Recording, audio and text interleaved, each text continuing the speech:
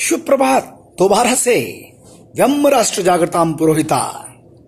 देखिए, मैं आज बात कर रहा हूँ गाजियाबाद में 35 एकड़ में गाजियाबाद डेवलपमेंट अथॉरिटी के द्वारा जो भूमि उपलब्ध कराई गई बीसीसीआई को 60 करोड़ में राजनगर एक्सटेंशन में जो ज़बरदस्त स्टेडियम बनने जा रहा है उत्तर प्रदेश क्रिकेट एसोसिएशन के लिए, उस स्टेडियम का नाम जो है वो भारत रत्न सचिन तेंदुलकर जी के नाम पर होना चाहिए।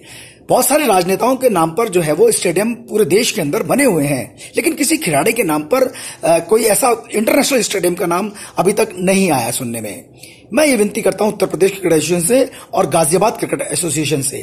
एक तो मेरी गुजारिश है दूसरी मेरी गुजारिश गोपाल शर्मा जो हमारे पहले टेस्ट क्रिकेटर बने उत्तर प्रदेश से उनके नाम पर जो पवेलियन है वो वो पवेलियन उनके नाम पर होना चाहिए।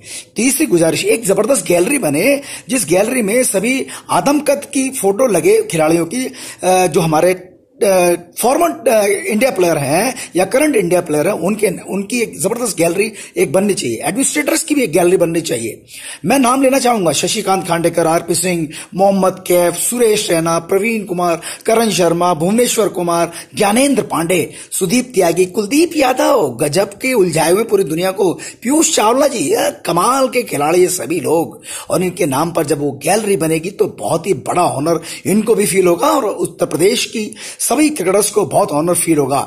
एक बात, दूसरी बात, जो एडमिनिस्ट्रेटर्स रहे जिन्होंने बहुत सेवा की है, ज्योति वाजपेयी जी, सिंघानिया साहब, और आदरणीय प्रदीप गुप्ता जी, और एक कमाल का कंट्रीब्यूशन है, आदरणीय राजेश शुक्ला जी का। ओहो, गजब गजब। मैं ये रिक्वेस्ट कर रहा हूँ, जितने भी उत्तर प्रदेश क्रिकेट एसोसिएशन के डायरेक्टर से एक ऐसा प्रपोजल लेके आए कि इसका नाम Sachin Tendulkar international cricket stadium रखा जाना चाहिए। अगर उत्तर प्रदेश क्रिकेट एसोसिएशन और दरिया दिल्ली दिखा दी है तो आप देखिए कि राजेंद्र सिंह हंस का कोई कम कंट्रीब्यूशन नहीं है, वो अलग बात है, वो इंडिया नहीं खेल पाए हैं।